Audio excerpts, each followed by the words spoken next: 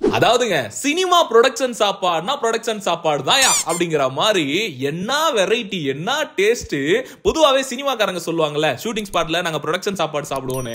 அதை பத்தி தெரிஞ்சுக்கணும்னு ரொம்ப நாள் ஆசைங்க. நம்ம மதுரையில ஒரு படம் எடுத்துட்டு இருந்தாங்க. நமக்கு தெரிஞ்சவங்க இருந்தாங்க.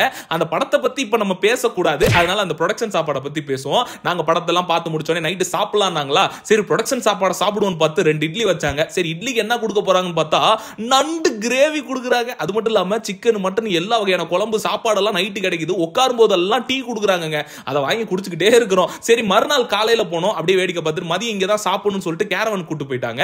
கேரவன்ல சாப்பாடு மதியம் ஏசியில் ஆஹா சாப்பாடுக்கு குழம்பு என்ன சிக்கன் கிரேவி என்ன மட்டன் கிரேவி என்ன மீன் பொரிச்சது என்ன அது மட்டும் இல்லாம காய்கறின்னு எக்கச்சக்கமான கூட்டு புளியோதரை ஸ்வீட்டு இது சாப்பிட்டு முடிச்சோடனே ஒரு டீ காஃபி அப்படின்னா எப்படி இருக்கும்? ச்சே செம்மங்க. ரொம்ப திருப்தியா இருந்தது. உண்மையிலேயே ப்ரொடக்ஷன் சாப்பாடுனா ப்ரொடக்ஷன் சாப்பாடு தான் அதாவதுங்க இந்த வீடியோவில் பார்க்கும்போதே இந்த பிரியாணியோட கலர் ரெட் ஒயிட் மஞ்சள் எல்லோ பிரவுன் அப்படின்னு தெரியுதா? அதுதான் ஹைதராபாத்தி பிரியாணி. இந்த கடை காலவாசல்ல அப்னா மொபைல்ஸ்க்கு பக்கத்துல ஒரு தள்ளுவண்டி கடையா தாங்க இருக்கு. மதுரையில தள்ளுவண்டியில ஒரு ஹைதராபாத்தி பிரியாணி கொடுக்கறது அதுவும் இவ்வளவு டேஸ்டா கொடுக்கறதுங்கிறது உண்மையிலேயே எங்களுக்கே ஆச்சரியம். நூத்தி முப்பது ரூபாய்க்கு கொடுக்குறாங்க. உண்மையிலே செம்ம டேஸ்ட்டுங்க இந்த கடையோட பேரு குண்டு பாய் பிரியாணி. எதுக்குடா குண்டு பாய் பிரியாணின்னு வச்சிருக்காங்கன்னா இந்த கடையோட ஓனர் வந்து அதாவது இந்த மாஸ்டர் இருக்காருல அவர் கொஞ்சம் குண்டா இருப்பாராம். அவர் ஹைதராபாத்ல ரொம்ப நாள் இருந்தனால அந்த டேஸ்டோட சமையல்லாம் செய்ய தெரியுங்கிறனால இங்க வந்து இந்த குண்டு பாய் பிரியாணிங்கிற கடையை ஓபன் பண்ணியிருக்காரு மக்களோட அன்பு ஆதரவும் பயங்கரமா இருக்குங்க. அந்த பக்கம் போனா மதிய நேரத்தில் நிறைய பேர் வாங்கி சாப்பிடுறாங்க. ஸோ நீங்க ஹைதராபாத் பிரியாணியை விரும்பி சாப்பிட்ற ஆளா இருந்தா இல்ல ஒரு வாட்டி ட்ரை பண்ணலாம் அப்படின்னு நினைச்சா இந்த கடையில் ட்ரை பண்ணுங்க. நூத்தி முப்பது ரூபா அங்க சாப்பிட்டா நூத்தி நாற்பது ரூபா பார்சல் பார்சல் ஒன் கேஜி பாக்ஸ்ல தராங்க ரெண்டு பேர் தாராளமா சாப்பிடலாம். அது மட்டும் இல்லாம சைடிஸ்லாம் இருக்கு. நாங்க சிக்கன் சிக்ஸ்டி ஃபைவ் சாப்பிட்டு கடைசியில ஒரு பீடாவை அதாவது ஃபயர் பீடாவை சாப்பிட்டு வீட்டுக்கு வந்துட்டாங்க. ஸோ கைஸ் எவ்வளோ தான் சம்பாரிச்சாலும் பத்தாவது அந்த காலத்தில் ஒரு ஹண்ட்ரட் ருபீஸை வச்சுக்கிட்டு ஒரு நாள் ஃபுல்லாக மதுரையில் சாப்பிடலாமா அப்படின்னு சொல்லிட்டு சேலஞ்ச் வீடியோ தான் பண்ண போகிறோம் வித் லெட்ஸ் வைப் டீமோட இதில் பெட்ரோல் சார்ஜ் ஆட் ஆகாது அதையும் சொல்லிக்கிறேன். பிரேக்ஃபாஸ்ட்டுக்கு நம்ம பாட்டிக்கெல்லாம் சாப்பிட போகிறோம் இந்த கடை எங்கே இருக்குன்னா அண்ணா நகர் சாந்தினி நிகேத்தன் அப்பார்ட்மெண்ட்டுக்கு ஆப்போசிட்டில் தான் இருக்குது இங்கே மூணு இட்லி ஒரு வடை அதுக்கு சட்னி சாம்பார் ஒரு தொக்கு ஒன்று கொடுப்பாங்க. சாப்பிட அல்டிமேட்டாக இருக்கும் டேஸ்ட்டு தென் மத்தியான சாப்பாடுக்கு பெரியார் போகிற வழியில் ஸ்ரீஹரி மீனாட்சியில் ஒரு லெமன் ரைஸ் ஒரு சாம்பார் ரைஸ் வாங்கினோம். இதுக்கு தொட்டுக்க வடை. டேஸ்ட்லாம் சூப்பராக தான் இருந்துச்சு. ஈவினிங் ஸ்நாக்ஸுக்கு ஒரு ஈரானி சாய் ஒரு ரஸ்க்கு ஒரு பக்காவான ஸ்நாக்ஸ் இரவு உணவுக்கு நம்ம வண்டியூரில் உள்ள அஞ்சு ரூபா பரோட்டா கடை. ஆஹா திருப்பிட்டாங்கய்யா திருப்பிட்டாங்களே. பரோட்டா அஞ்சு ரூபானால குவாலிட்டி கம்மியா இருக்கும்னு நினைச்சிடாதீங்க பக்காவா இருக்கும். அண்ணன் ரஜினி ஃபேன் போல டேட்டூலாம் போட்டிருந்தாரு. ஆளுக்கு நாலு பரோட்டா ஒரு வடியலோட முடிச்சாச்சு. ஸோ ஓவராலா நம்ம மதுரைக்குள்ள ஹண்ட்ரட் ருபீஸ் வச்சு சாப்பிட்டாச்சு. இந்த பேலன்ஸ் அஞ்சு ரூபா இருக்கு இது நமக்கு ஃபியூச்சர்ல தேவைப்படும். எந்த பேரு? George David. அவ்வளவு வேண்டா இவ்வளவு வேண்டா என்னடா வேன் திடீர்னு மதுரைக்கரை மலையாள ஸ்லாங் பேசுறான்னு பாக்குறீங்களா? அப்படியாப்பட்ட ஒரு கடைக்கு வந்திருக்கோமா இல்லையா? பேசணுமா இல்லையா? இதை சொல்லிடுவோம் ஃபர்ஸ்ட் அதாவது நம்ம மாப்பாளையத்துல ஜம்ஜம் பிரியாணிக்கு ஆப்போசிட்ல இருக்கிற ஹோட்டல் அப்படிங்கிற கடைக்கு வந்தோம். எதுக்காக அப்படின்னு கேட்டீங்கன்னா நிறைய பேர் நம்ம மதுரையில கேரளா ஸ்டைல் இந்த நூல் பரோட்டா கிடைக்குமா? அது கூட பீஃப் சுக்கா கிடைக்குமா? அப்படின்னு கேட்டுட்டே இருந்தாங்க. இது ரெண்டும் கிடைக்கிற மாதிரி ஒரு கடையை நம்ம கண்டுபிடிக்கணும்டான்னு தேடிக்கிட்டே இருந்தப்பதான் இந்த கடையில இருக்குங்க நூல் பரோட்டா வித் பீஃப் சுக்கா. பீஃப்ல நிறைய வெரைட்டி வச்சிருக்காங்க. Beef biryani beef dum beef sixty five beef பிரைன்னு நிறைய நிறைய வச்சிருக்காங்க ஸோ அதுல இந்த நூல் பரோட்டா இருபது ரூபா. இந்த பீஃப் கோலா உருண்டை பத்து ரூபாய்க்கு நல்ல பெருசாவும் இருக்குதுங்க. நாங்க இந்த beef chukka beef Cola biryani எல்லாமே வாங்கி சாப்பிட்டோம். நல்ல டேஸ்ட் முக்கியமா இந்த நூல் பரோட்டாவோட மேக்கிங்கை பாருங்க. நார்மலா நம்ம பரோட்டா மேக்கிங் மாதிரி தான் இருக்குது. ஆனா நூல் மாதிரி அப்படியே கொண்டு வந்துடுறாப்புல நம்ம மாஸ்டர் அதை அப்படியே பீஃப் சுக்கால தொட்டு சாப்பிடும்போது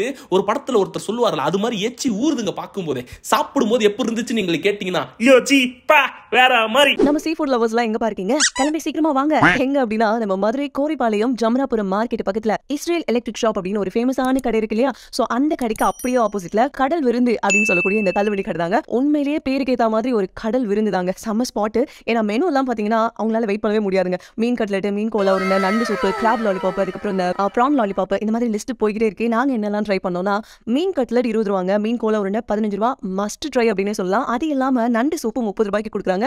குட்டி குட்டி நண்டெல்லாம் போட்டு பயங்கர காட்டமா இருந்துச்சு. ஒரு வாட்டி வாங்கி குடிச்சிங்க அப்படின்னா உங்களுக்கு கோல்டு எல்லாம் இருக்கு சளி பிடிச்சிருக்கு அப்படின்னா அப்பவே பறந்து போயிருங்க. அந்த அளவுக்கு செம்மையா இருந்தது. ஸோ மறக்காம ட்ரை பண்ணி பாருங்க.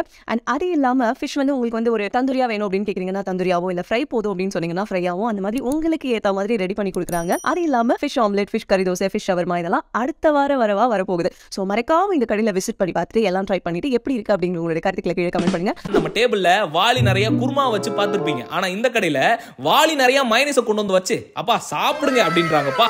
மதுரையில இந்த ஃப்ரைட் ரைஸ் நல்லா சாப்பிடணும் திருப்தியா சாப்பிடணும்னா எந்த கடையில சாப்பிடலாம்ப்பா அப்படின்னு நாங்கள் கேள்வி கேட்டிருந்தோம். அதுக்கு மதுரையில் இருக்கிற நிறைய பேர் கமெண்ட் பண்ணியிருந்தது என்னன்னா ஜேகேன்ஸ்ல தான் ஃப்ரைட் ரைஸ்னா அல்டிமேட்டா இருக்கும் அப்படின்னாங்க. இந்த கடை இந்த காலவாசல்ல இருக்கு. இந்த வெஸ்ட் சைடுக்கு நேர் எதிர ஆப்போசிட்ல தான் இருக்குன்னு சொன்னாங்க. இந்த கடையில இந்த ஃபர்ஸ்ட் ஃப்ளோர்ல போனீங்கன்னா பதினஞ்சு பேரா வந்தாலும் சரி இருபது பேரா வந்தாலும் சரி ஒன்னா உட்காந்து சாப்பிட்ற அளவுக்கு செம்ம ஸ்பேசியஸா இடம் இருக்கு. அதுதான் பெரிய பிளஸ் ஸோ நீங்க ஃபேமிலியோட இல்ல ஃப்ரெண்ட்ஸோட கேங்கா வந்து ஒரு ட்ரீட்டுக்காக போறீங்கன்னா இந்த கடையை ப்ரிஃபர் பண்ணுங்க. அது ஃப்ரைட் ரைஸ் ரொம்ப பிடிக்கும்னா இந்த கண்டிப்பா அந்த கடைக்கு போங்க.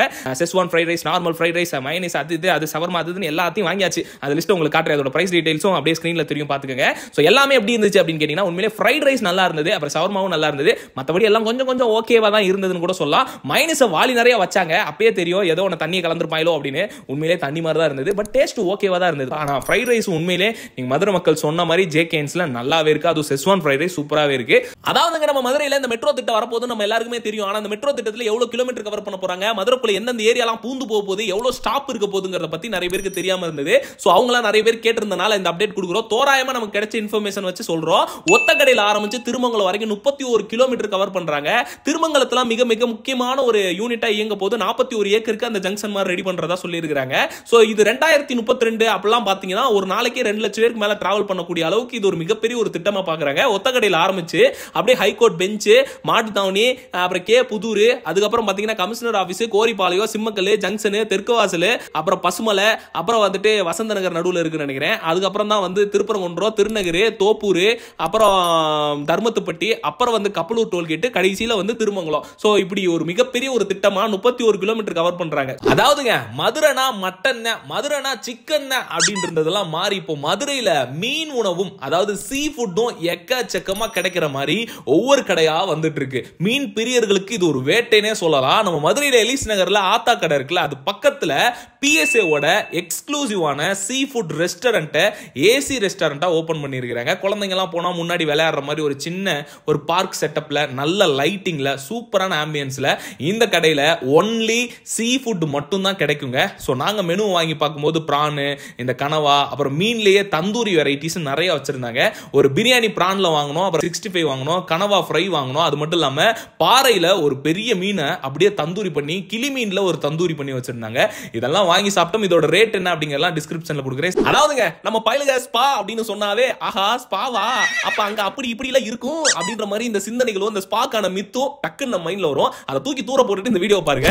மதுரையில நம்பர் ஒன் லக்ஸரிஸான பிரீமியமான அல்டிமேட்டா சேஃப்டி ரொம்ப முக்கியம் அப்படின்னு கருதி அது மட்டுமே மெயினான ஒரு நோக்கமா வச்சு இயங்கிட்டு இருக்கிற ஒரு ஸ்பா தான் டியோசா ஸ்பா இது எங்க இருக்குன்னு கேட்டீங்கன்னா நம்ம மதுரை கே நேரில் இந்த மியாட் ஹாஸ்பிட்டல் பக்கத்துல அப்படியே ஒரு குட்டி சந்துக்குள்ள போய் அப்படி திரும்பினோட ரைட்ல மிக பிரம்மாண்டமா இருக்கும். இதோட அவுட்டர் லுக்க பார்த்தாவே உங்களுக்கு தெரியும். இன்டீரியர் அவ்வளோ சூப்பரா விண்டேஜ் ஸ்டைல ஒரு புகைக்குள்ள போற மாதிரி இருக்குங்க. நம்மளோட நார்மல் செருப்புலாம் போட்டு உள்ள போக முடியாது. நுழையும் போதே அவங்களுக்குன்னு ஒரு செருப்பு இருக்கு. அதை தான் யூஸ் பண்ணணும். உள்ள போய் அந்த சர்வீஸ் எடுக்கும்போது நம்மளோட காலை கழுவிட்டு ஒரு ஃபுட் மசாஜோட ஆரம்பிக்கும் போது அப்படி இருக்குதுங்க. இந்த ஸ்பா சர்வீஸ் எல்லாமே பாத்தீங்கன்னா பக்கா சேஃப்டியா அதுவும் முக்கியமா பிரெக்னென்ட் லேடிஸ்க்கு தனியா ஒரு எக்ஸ்க்ளூசிவ் ஸ்பா ஒரு சர்வீஸும் பண்ணிட்டு இருக்காங்க. இங்க ரொம்ப பக்காவா ரெண்டாயிரத்தி ஐநூறுவால இருந்து ஆரம்பிக்குதுங்க. ஸோ எல்லா டைப் ஆஃப் சர்வீஸும் இங்க கொடுத்துட்டு இருக்காங்க. ஒரு நாள் ஜஸ்ட் அப்படியே விசிட் பண்ணுங்க. ஏன்னா மதுரைக்கு வர்ற அதிகமான ஃபாரினர்ஸ் விரும்பக்கூடிய ஒரு ஸ்பா அப்படின்னு சொல்றாங்க. ஸோ நாங்க போயிருந்தோம். எங்களுக்கு பார்க்கும்போதே பிரம்மாண்டமா இருந்தது. அதாவதுங்க நான் ஒரு உண்மையை சொல்லிட்டா அந்த காலத்து ஆளுங்களோட உழைப்புக்கு நம்ம இப்ப இருக்கிறோம்ல இந்த காலத்து ஆட்கள் யார் ஏணி வச்சா கூட எட்டவே முடியாதுங்க. ஒரே நாள்ல ரெண்டு சம்பவத்தை என் கண்ணால பார்த்தேன் நம்ம மதுரையில. என்னன்னா அப்படியே கோரிப்பாளையம் பக்கம் போகும்போது நம்ம தேவரையா சிலைக்கு கீழே பாத்தீங்கன்னா ரெண்டு மூணு பசங்க நின்று வீடியோ எடுத்துக்கிட்டே இருக்காங்க ரீல்ஸ் ஒரு கால் மணி நேரமா நானும் சிக்னல்ல இருந்து பாத்துக்கிட்டே இருக்கேன். சரி நம்ம அதை எடுக்க வேணாம் வீடியோன்னு விட்டாச்சு. அவர் அப்படியே பாலத்தை கடந்து போகும்போது அடிக்கிற வேலைக்கு எங்கேயா ஒரு ஜூஸை குடிப்போம் நிப்பாட்டினப்ப தான் நம்ம ஐயா கண்ணில் பட்டாரு. வயசான ஐயா. ஐயா போடுற அந்த சர்பத்தை பாருங்க அப்பா. அதுலயும் அந்த நன்னாரியை ஊத்துனதுக்கு அப்புறம் தர்பூசணியை போட்டு ஒரு மாதிரி வித்தியாசமா கொடுக்குறாரு. நல்லா குளு குழு குளுன்னு இருக்கு சாப்பிடுறதுக்கு. அது மட்டும் இல்லாம அந்த ஐயாவோட உழைப்பை பார்க்கும்போது அப்படியே மனசும் கொஞ்சம் அப்படியே நிம்மதியா இருக்கு. என்னடா அந்த மனுஷன் எப்படி வேலை செய்யறான் பாரியா? ஏழு எட்டு பேர் வந்தாலும் அசராம் சர்பத் போட்டு கொடுத்துட்டு இருக்காருங்க போது எனக்கு ஒரு கேள்வி. அந்த காலத்து ஆளுங்க எப்படி உழைச்சிருக்காங்க? இன்ன வரைக்கும் உழைக்கிறாங்க. இவங்களை யாரும் பார்த்துக்க இல்லைன்னு இன்ன வரைக்கும் அவங்க உழைச்சி சம்பாதிக்கிறாங்க.